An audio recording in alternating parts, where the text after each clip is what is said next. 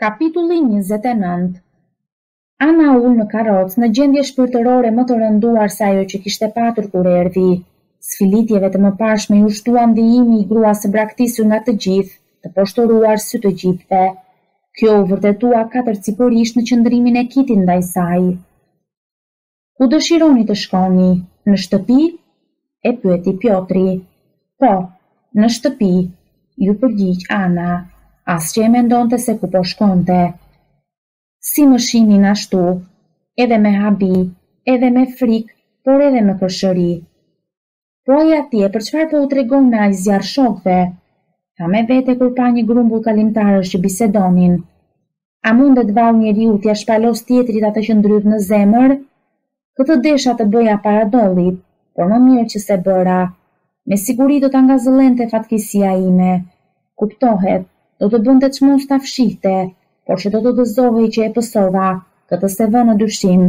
Se ajo kurdoherë ma ka patur zili dashurinë, kënaqësinë, lumturinë që më ka mbushur shpirtin.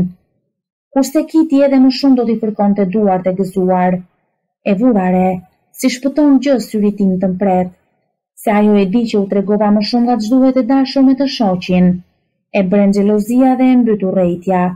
Për më tepër që më përbuz. Në sytë e saj jam grua e ligë. Por, po të isha ashtu siç mendon ajo, do t'ia kisha prishur mendjen të shoqit. Kur të doja dhe sa të doja. Të them të drejtën, desha ta provoja. Ja, ky këtu duket i kënaqur nga vetja, mendoi kur pa një trashaluq që po vinte në drejtim të saj. Duke pandehur që e njihte Anën, ngriti kapelën mbi tullën që i shndriste, por u skuq kur u bind që u gabua. Më mori për ndonjë të njohurën e vet. Kurse unë s'njoh as veten, vetëm orekset e mia i njoh, siç shprehen francezët. Kurse ata atje lëpihen apo s'lëpihen duke shijuar ato akullore të pështirë. Ja, ata po. Ata e njohin veten. Mendoi duke parë dy fëmijë me akullore në dorë. E kush nga ne s'i ka qejf ëmbëlsirat, gjërat e shijshme? S'kemi çokollata, hamë akulloren e pështirë. Ja dhe Kiti. S'e shtiu dot në dorë Vronskin, u martua me Levinin. Më zilepset dhe më urren. Ne të gjithë e urrejmë njëri-tjetrin. Unë urrej Kitin, Kiti më urren mua. Kjo është mëse e vërtetë. Tjutkini floktar, i rregulloi flokët e Tjutkini. Do t'ia them këtë kur të vijë, tha me vete dhe vuri buzën në gaz. Sakaq u kujtua që s'kishte kujt t'i tregonte diçka për të qeshur. Po, dhe asgjë të tillë nuk shoh që të më bëjë për të qeshur, që të më gëzojë. Vetëm pështirosje ndjej. Po bien kambanat e meshës së mbrëmjes, ai tregtari atje bëri kryqin, me sa zell e bëri, sikur trembet mos humbet diçka. E ç'duhen tërë këto kisha, këto kambana, këto mashtrime?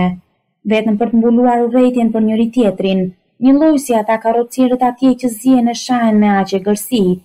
Jashvini thotë, Ai kërkon të më lërë pa këmishë dhe unë gjithashtu.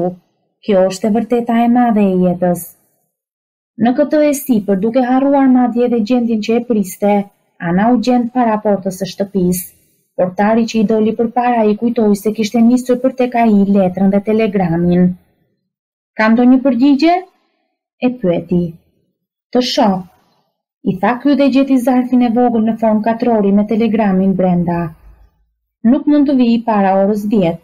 Vronski. Lexoi ajo. Por shërbëtori me letër nuk u kthye? Jo, nuk është kthyer, iu përgjigj portari. Kur qenka kështu, e di unë ç'duhet të bëj. Mërmëriti e pushtuar nga një shkulm i ri zemërimi i papërcaktuar dhe nga një mllef i papërmbajtshëm për hakmarrje, i ngjiti me vrap shkallët. Do t'i vete vetë, do t'ia zbraz të gjitha para se të largohem përgjithmonë prej tij. Kurrë s'kam urryer dikë sa urrej atë. Turfulloi me dhëmbët shtrënguar. Kur pa kapelën e tij në varse, i shkuan mornica neverie nëpër trup. S'i shkoi fare në mendje që lajmi i marrë, ishte vetëm përgjigje e telegramit që i kishte dërguar. Letrën ai ende s'e kishte marrë. E përfytyroi si bisedonte i qetë, në qejf të vet me të ëmën dhe Sorokinën. Si skërmitej kur e kujtonte në ç'gjendje e kishte lënë. Po duhet të shkoj dhe sa më parë më mirë. Vendosi pa e ditur as vetë se ku do të shkonte e ç'do të arrinte. Donte ta shkarkonte sa më parë nga shpirti barrën e rëndë të këtyre ndjenjave të çakërdisura dhe të hardallosura. Donte të largohej sa më parë nga kjo shtëpi ogurzezë. Shërbëtorët, muret, orenditë, çdo gjë e kësaj shtëpie i kallte krupën, i ngrinte nervat, i përforconte angështinë, e shtypte si ndonjë mollok që i kishte rënë përsipër.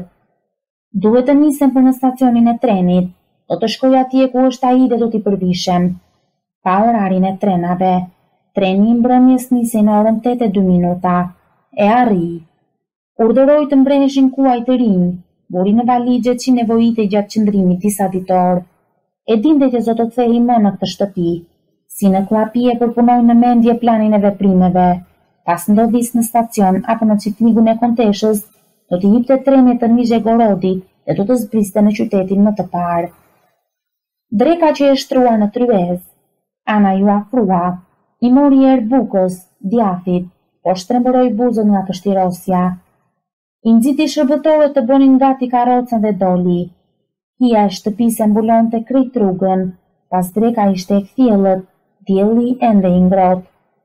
si Anushka që po e përcillte me plaçkat në dorë, si Pjotri që po ngarkonte ç'duhej për rrugë në karrocë, si karrocieri tërë hundë e buzë që po i nisnin me aq ngut, i dukeshin të neveritshëm, ia cysnin nervat me lëvizjet që bënin dhe me fjalët që thoshin. Pjotër, s'ka më nevojë për ty, i tha. Po biletën kush do t'jua blejë? e pyeti ky. Po mirë hip, bëj si di, i tha e dalldisur. Pjotri zuri vend në poponë e karrocës, drejtoi trupin dhe i tha karrocierit t'i çonte në stacionin e trenit. Kapitulli i tridhjetë Ja, përsëri jam ajo e para, përsëri i kuptoj të gjitha! i tha vetes Ana me t'u nisur karroca dhe me t'u lëkundur mbi rrotat që rrokulliseshin nëpër gurët e kalldrëmit. Përsëri filluan t'i vagëllojnë në kokë njëra pas tjetrës mbresa nga më të ndryshmet. E ç'ishte ajo që pashë të fundit fare? pyeti veten. Tjutkini floktor? Jo, s'ishte kjo. A, m'u kujtuan fjalët e Jashvinit, Lufta për ekzistencë dhe urrejtja janë të vetmet që i lidhin njerëzit. Jo, kot e keni që shkoni! tha me vete kur pa një karrocë të tërhequr nga katër kuaj, të mbushur me të rinj, që shkonin për piknik jashtë qytetit. As qeni që keni marrë me vete nuk ka ç'ju bën. S'dilni dot nga vetja juaj! Ktheu kokën andej nga shihte Pjotri dhe pa një punëtor të dehur, të bërë tapë, që përkundej e pengohej, i shoqëruar nga një polic. Ja dhe ky. Deshi të harrohej, por e pësoi. Tha me vete, Ja, dhe unë me kont Vronskin s'e arritëm dot atë që dëshironim, ndonëse patëm jo pak shpresë. Ishte hera e parë që Ana hodhi dritë çka e bënte t'i shihte si dinte ajo gjërat në marrëdhëniet e veta me Vronskin. Më parë, me vetëdije e kishte shmangur këtë dritë shkëlqimtare. Ç'kërkonte tek unë? Jo aq dashurinë se sa ledhatimin e sedrës dhe kënaqjen e sqimës, mendoi.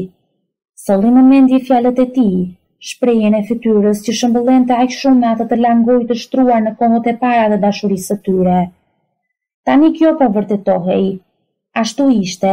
Në atë kohë ai kërkonte të arrinte ngadhënjimin e asaj që i kënaqte sqimën. Sigurisht, kishte dhe dashuri, por pjesa më e madhe ishte ledhatim sedre nga suksesi i arritur. Mburrej me mua. Tani kjo s'është më. S'ka me se të mburret, përkundrazi, i skuqet faqja nga turpi. E mori ç'deshi nga unë, tani s'i duhem më. Iu bëra barrë.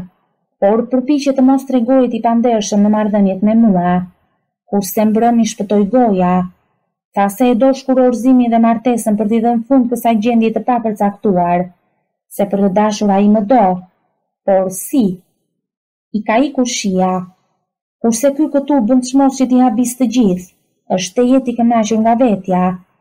Tha kur pa shërbëtorin faqekuq të kalëronte të kapardisej hipur në doriun e zotërisë që po e çonte në stërvitje. Por unë për të nuk jam më ajo që isha në fillim. Nëse largohem, do të gëzohet në thellësi të shpirtit. Dhe kjo nuk ishte hamendje. E shihte qartë në dritën shkëlqimtare që i lejonte të shihte e të zhbironte kuptimin e jetës dhe të ndriçonte marrëdhëniet ndërmjet njerëzve. Dashuria ime sa vjen e bëhet më e zjarrtë, por edhe më egoiste. Kurse dashuria e tij sa vjen e shuhet, ndaj dhe largohemi nga njëri-tjetri. Vijoi Ana arsyetimet e veta. Dhe kjo s'ka si ndreqet. Për mua ai është fillimi dhe fundi i gjithçkaje. Unë kërkoj të jetë gjithnjë e më shumë i imi, vetëm i imi, ndërsa ai do si e si të largohet nga unë. Ne u nisëm për t'u bashkuar, për t'u shkrirë në një, kurse më pas, zumë të largoheshim në mënyrë të papërmbajtshme. Tatëpjeta që ka zënë s'ka si ndalet. Ai më thotë që s'kam asnjë arsye të jem xheloze. Edhe unë vetë ia kam thënë vetes jo një herë këtë, por ja që nuk është e vërtetë. Xheloze unë nuk jam. Unë jam e pakënaqur. Por Ana shtangu e befasuar nga mendimi që i erdhi në kokë, u rrëqeth dhe ndërroi vendin në karrocë. Sikur të mundja të isha diçka më shumë se dashnore që ka ashk të pashuar për ledhatimet e tij. por ja që as nuk mundem as nuk dua të jem ndryshe nga kjo që jam. Me nepsin tim të pangopur po i ngjall neveri, kjo më nervozon e tërbon, kjo kështu është dhe ndryshe s'ka si të jetë. Unë e kuptoj fort mirë përse ka filluar të më gënjejë për marrëdhëniet dhe synimet ndaj Sorokinës, përse më thotë që s'ndjen kurrgjë për Kitin, që s'ka për të më tradhtuar kurrë. Ma thotë për të më qetësuar, por ja që unë s'po ndihem e lehtësuar nga kjo. Se, siç i kuptoj unë marrëdhëniet tona, në rast se do të tregohet i mirë dhe lajkatar me mua pa më dashur, vetëm nga ndjenja e detyrës, kjo do të ishte njëqind herë më keq, ku e ku më keq, se ky nervozizëm që po më tërbon. S'do të ishte jetë por ferr. Dhe pikërisht kjo po ndodh. Ka kohë që s'më dashuron më. dhe aty ku mbaron dashuria, fillon urrejtja. Këto rrugët këtu s'i paskam parë ndonjëherë, sa shumë shtëpi paska, dhe njerëz sa shumë, s'kanë të numëruar dhe të gjithë e urrejnë njëri tjetrin. Po ta zëmë se më plotësohet dëshira të jem e lumtur. Atëherë si? Do ta marr shkurorëzimin, do ta kem Seriozhën, do të martohem me Vronskin. Mendimi për shkurorëzimin i lindi përfytyrimin e Aleksej Aleksandroviçit, sytë e vegjël, gjysmë të mbyllur, pa jetë, si të shuar e të vagulluar, damarët mavi në duart e bardha, zëri piskan. Gishtërinjtë eshtakë që i kërciste kohë pas kohe. Solli në mendje ndjenjën që i kishte bashkuar, që po ashtu quhej dashuri dhe iu mbush trupi me mornica, u drodh e çmeritur. Domethënë do të ndahem nga burri dhe do të martohem me Vronskin. Po si? Kiti s'ka për të më parë si më pa sot? Do të më shohë. Po Serjozha, nuk do të vazhdojë të pyesë si qëndron puna e dy burrave të mi? Do të vazhdojë. Po ndërmjet meje dhe Vronskit ç'lloj ndjenje do të jetë ajo që do të lindë? A është e mundur të sigurohet, nuk them liria, por qetësia, t'u jepet fund sfilitjeve? Jo dhe jo. I tha vetes pa pikën e lëkundjes. Nuk është e mundur. Ne po na ndan jeta. Unë atë e bëj të palumtur, ai mua më bën të mjerë. As ai e as unë nuk kemi si ndryshojmë. Përpjekjet për rregullim shteruan, e mori ferra uratën. Ja, atje tej është një grua e varfër me fëmijën. Pandeh që njerëzve u vjen keq për të. Po, ne kemi lindur në këtë botë për të urryer shoshoshin, për të munduar veten dhe të tjerët.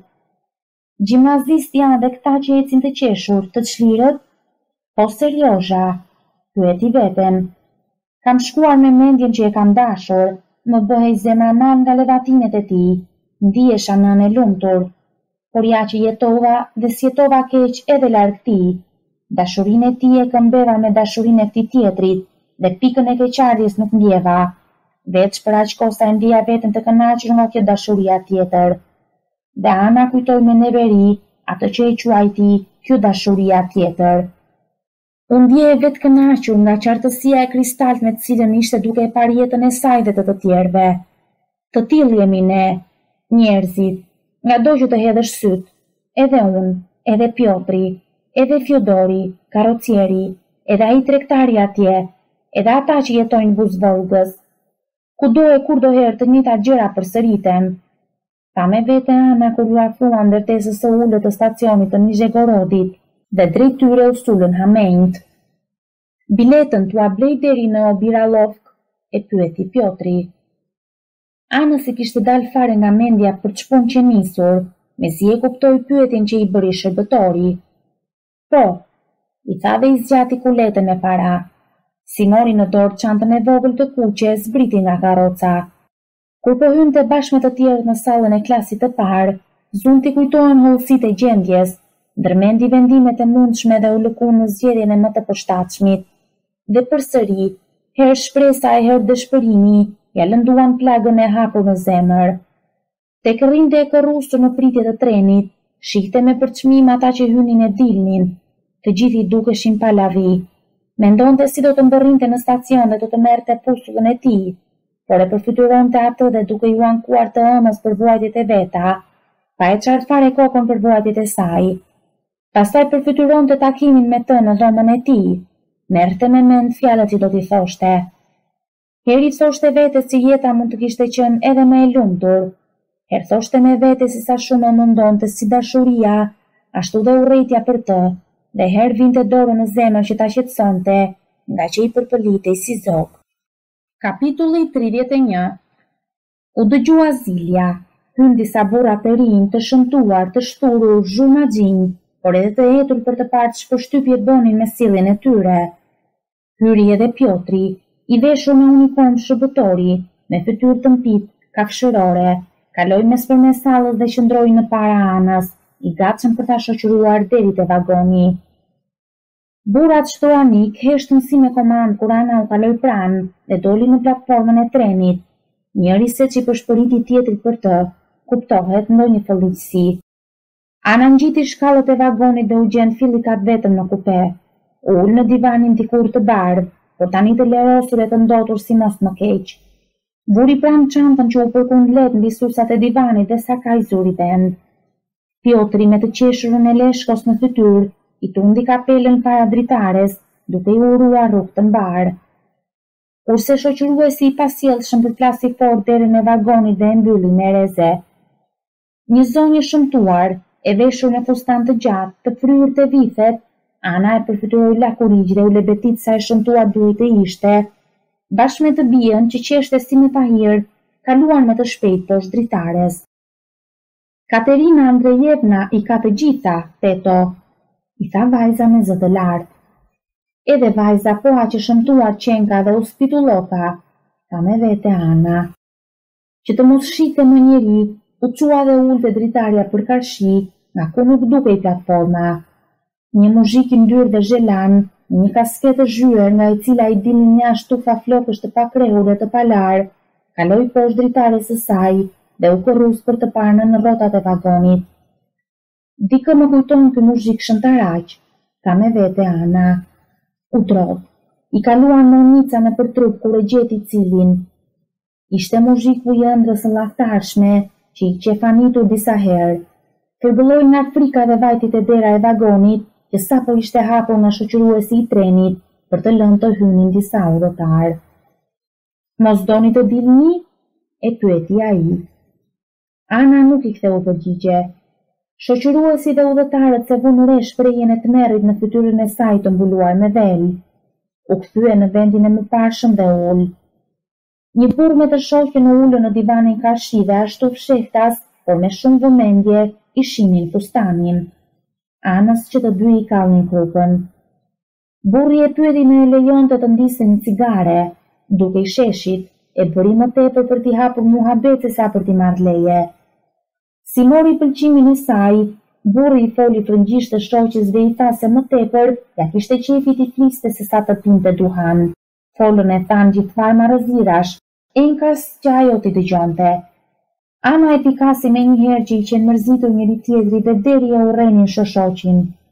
E si të mos i përçmoje ca syfete si këta, ca njerëz të gjymtuar, sipas mendimit të saj, ata të tillë ishin.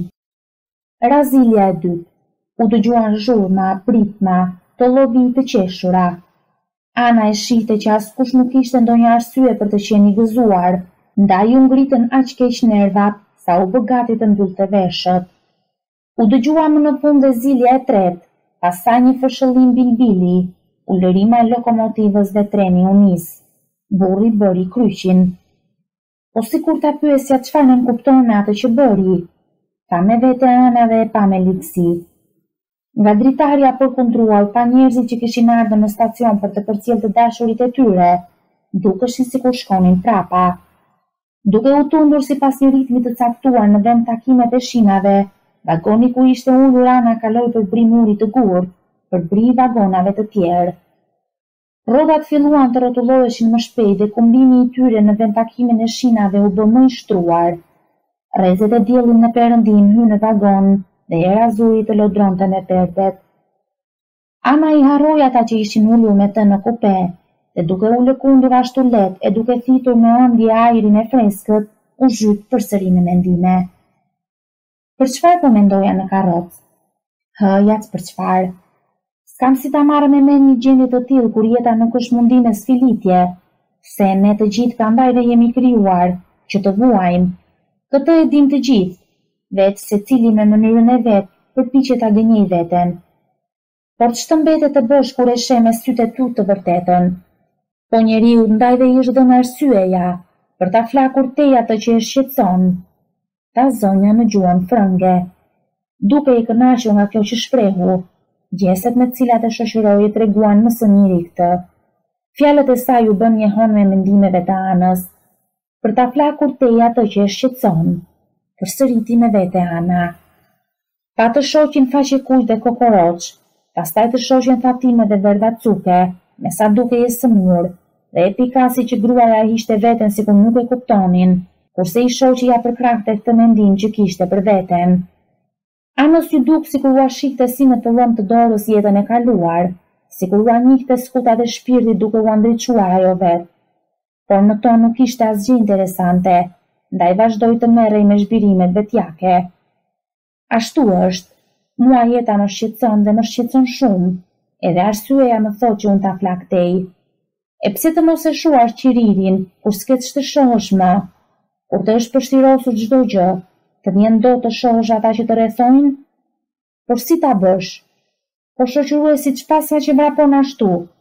Po ata djemtë në vagonin tjetër përse bërtasin? Ç'thonë? Pse qeshin? Gjithçka është gënjeshtër, është e rreme, është mashtrim e ligësi. Kur treni po i afrohej stacionit, Ana u ngrit. Doli te dera bashkë me udhëtarët e tjerë, por u mundua t'u qëndronte sa më larg, si të kishin lebrën. Zbriti në platformë. U përpoq të kujtonte ç'e kishte sjellë këtu, ç'duhej të bënte. Kur kishte qenë në shtëpi, çdo gjë e kishte përfytyruar të lehtë dhe të thjeshtë. Tani, e ndodhur në këtë llovi njerëzish, të pështirë dhe të urryer, nuk po arrinte dot ta merrte veten në dorë dhe të bënte atë që duhej bërë. Në fillim iu afruan me vrap disa hamenj për t'i marrë plaçkat, pastaj iu afruan disa djelmosha që përplasnin fort takat, e panë dhe folën me zë të lartë fjalë të pahijshme. Ndërkaq, Anës iu kthjellua në kokë vendimi që kishte marrë. Do të vazhdonte udhëtimin po të mos kishte ndonjë lajm nga Vronski. Ndaloi një hamall. E pyeti mos dinte të kishte ardhur ndonjë karrocier me pusullë nga kont Vronski. Nga kont Vronski? Po ishte një këtu pak kohë më parë. Kishte dalë për të pritur princeshën Sorokina me të bijën. Po karrocieri që pyesni si është në të dukur? e pyeti. Ndërkohë Mihajli, karrocieri faqekuq dhe qejfpaprishur, veshur shik me uniformën mavi me zinxhir në xhepat e jelekut, me sa dukej i vetëkënaqur që po e çonte në vend porosinë që kishte marrë, iu afrua dhe i zgjati pusullën. Ajo e mori me dorën që i dridhej dhe zemra i rrihte fort para se ta hapte e ta lexonte. Më vjen shumë keq që pusulla jote s'më gjeti në stallë. Do të jem aty në orën dhjetë. I shkruante Vronski me shkrimin shpejt e shpejt. Po. Këtë e prisja, i tha Ana vetes dhe u ngërdhesh me ligësi. Mirë, shko në shtëpi tani, i tha me zë të shuar karrocierit. Zemra po i rrihte aq fort, sa s'po mundej të mbushej me frymë. Jo, nuk të lë të më mundosh kështu, mendoi. Këto fjalë qortimi nuk ia drejtoi atij, as vetes, por atij që e detyronte të vuante dhe eci nëpër platformë në drejtim të kundër me stacionin.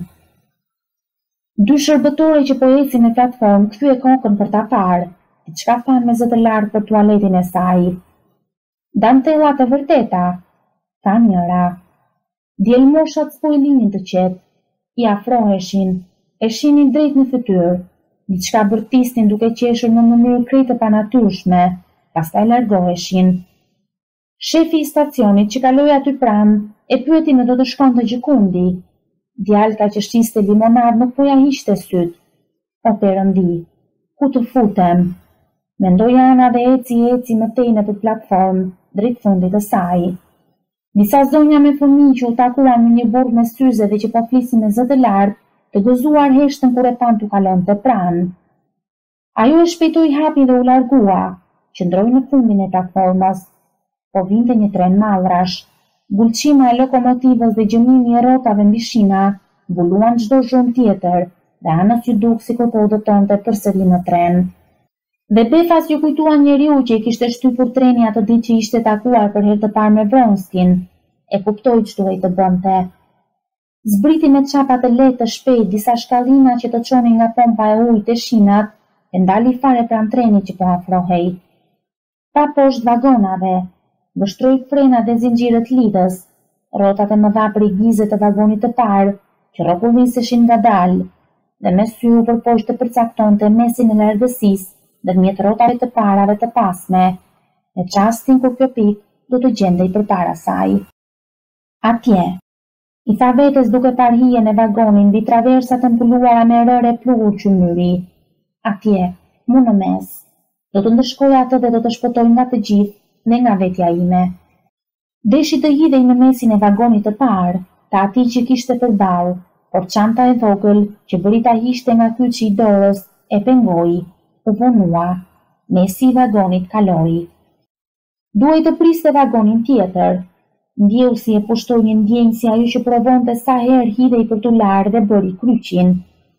Gjesti që ishte bërë zakon që në fëmijëri, i ngjalli në shpirt një varg kujtimesh të vajzërisë dhe të fëmijërisë, por befas errësira që ia kishte mbuluar qenien, u davarit, dhe për një çast, jeta i vezulloi para syve me të gjitha gëzimet e kaluara.